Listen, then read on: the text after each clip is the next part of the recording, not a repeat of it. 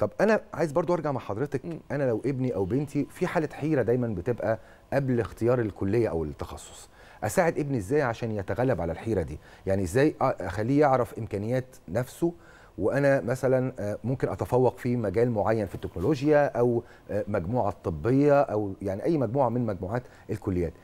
إزاي أساعد ابني أو بنتي؟ إزاي ال- الطالب وده عايز كلام من حضرتك موجه ليهم يتغلب على الحيرة دي؟ إزاي يتعرف على إمكانياته عشان يحدد الكلية اللي من بعدها هيدخل بقى الحياة والمجتمع وسوق العمل؟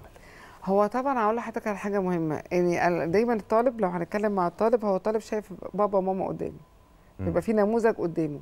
النموذج ده لا إما هو شايفه ناجح قوي فهو عايز يحاكي هذا النموذج هو شايفه بابا الشخصية الروتينية العادية الطبيعية. فأنا عايزة أتمرد على هذا الشخص جميل.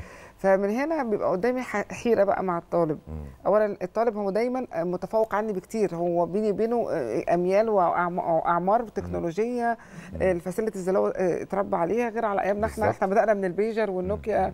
بنينا لوصولنا دلوقتي هنا مفيش أي لكل الحاجات دي فإحنا users أكتر منهم. هم ممكن يبقوا كمان creator أكتر مننا.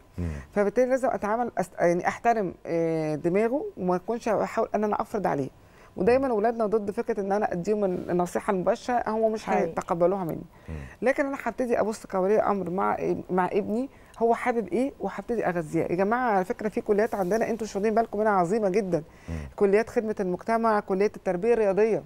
يعني أنا ابني لو عنده موهبة رياضية ودخلت بيها هو هيبقى شامبيون زي ما كنا بتفرج دلوقتي وأنا قاعدة في. آه آه في الأولمبياد هيبقى شامبيون حاجة كبيرة عظيمة يعني بل بيمثل بلده وبيجيب مصدر دخل لبلده ولنفسه فاحنا عايزين نهتم بالحاجات ال- الكليات اللي هي خاصة بال- بالعلوم الموسيقية والفنية دي كليات مهمة مش كليات عشان مجموعي قليل فدخلتها ممكن لا. متميز فيها جدا لازم أكون موهوب كمان عشان أخشها ده. شرط أساسي صحيح. يعني حتى لو أنا 60% بس لو مش ناجح قدرات فنية أو اجتزت الامتحانات فدي حاجات مش لازم اطلع ابني دكتور وبس لا في وظائف كتير قوي ولا هندسة.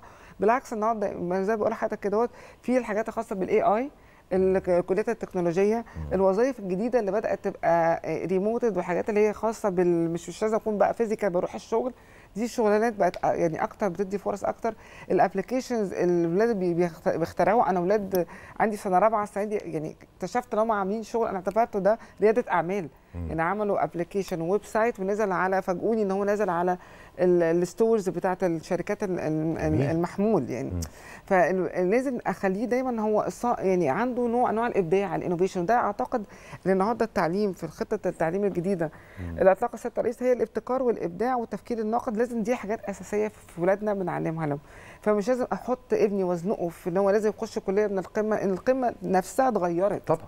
يعني فكرة القمة النهارده لا يعني حتى كليات الحاسبات والمعلومات راحت عليها. بقت جامعات التكنولوجية زي ما حضرتك اتفضلت.